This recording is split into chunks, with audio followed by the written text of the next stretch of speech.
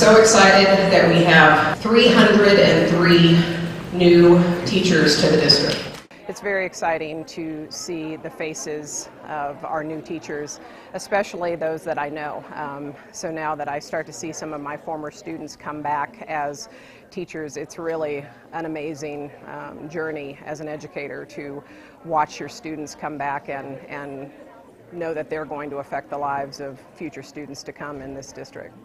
It's a great district. Uh, I think we we all had great teachers as we were going through Cherry Creek, and it's because of them that we wanted to come back and try and create that experience for the next generation.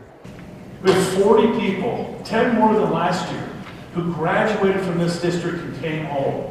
And I'm going to echo what Brooke said. Welcome, welcome back home.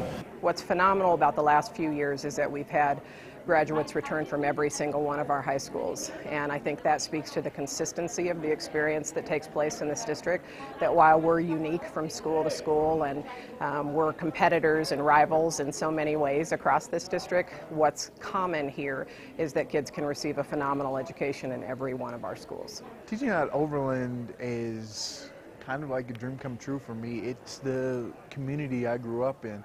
And to be able to come back and work for my community is really a blessing. The fact that he was so committed to being here because of the education that he received here.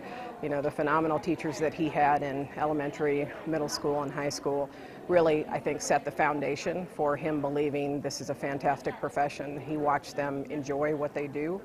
He watched them connect, and I think that it felt like returning home to him in a lot of ways, and that makes me very proud of him and also very proud of who we are as a district.